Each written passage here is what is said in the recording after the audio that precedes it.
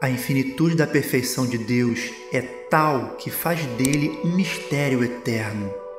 O maior de todos os mistérios insondáveis de Deus é o fenômeno da residência divina nas mentes mortais.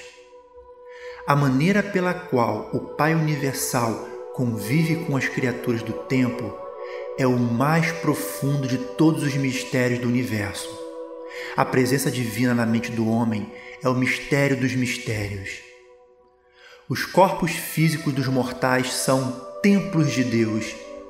Não obstante os filhos criadores soberanos aproximarem-se das criaturas dos seus mundos habitados e atraírem a si todos os homens, e embora estejam junto à porta da consciência e batam e alegrem-se de entrar em todos aqueles que abrirem as portas dos seus corações, conquanto exista uma comunhão íntima entre os filhos criadores e as suas criaturas mortais, no entanto, os homens mortais têm algo do próprio Deus a residir, de fato, dentro deles, e assim, pois, os seus corpos são templos dele.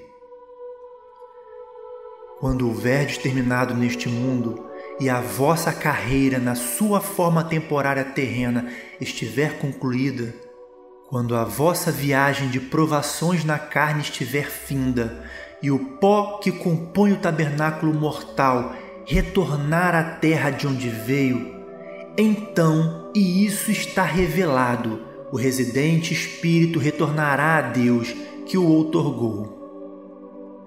Dentro de cada ser mortal deste planeta reside um fragmento de Deus, uma parte do todo da divindade. Esse fragmento ainda não é vosso por direito de posse, mas o desígnio intencional dele é unificar-se convosco se sobreviverdes após a vossa existência mortal.